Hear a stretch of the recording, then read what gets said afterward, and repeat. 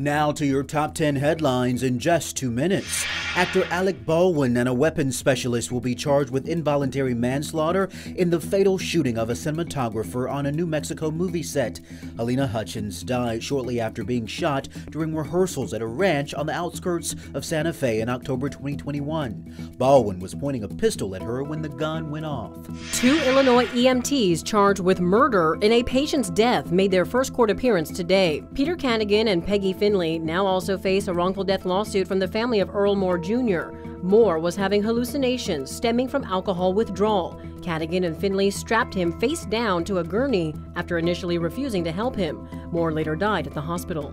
The trial began today for 67 year old Robert Somerville. He's charged with homicide for allegedly shooting and killing Stockton Fire Captain Max Fortuna, who was responding to a dumpster fire. Fortuna served the city of Stockton for 21 years.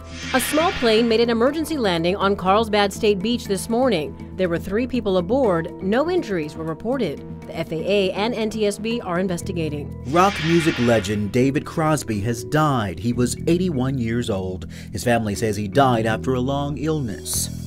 In Ukraine, Kyiv's mayor's warning the capital's infrastructure could soon fail due to repeated Russian rocket attacks. Russia has spent months targeting energy production in the country.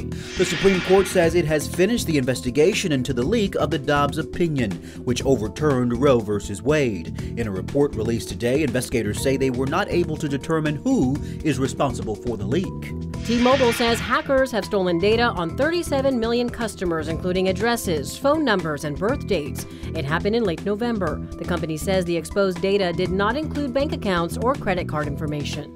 Bank of America says a glitch appears to have drained some customers' bank accounts, but it has now been resolved. Most complaints involve the payment transfer service Zelle. No word yet from Bank of America on how they'll handle possible overdraft fees for those customers.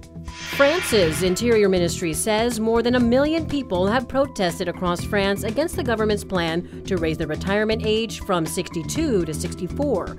Unions who organized Thursday's protests and strikes that hit transport and other sectors said more than 2 million people took part. And those are your top 10 headlines in just two minutes.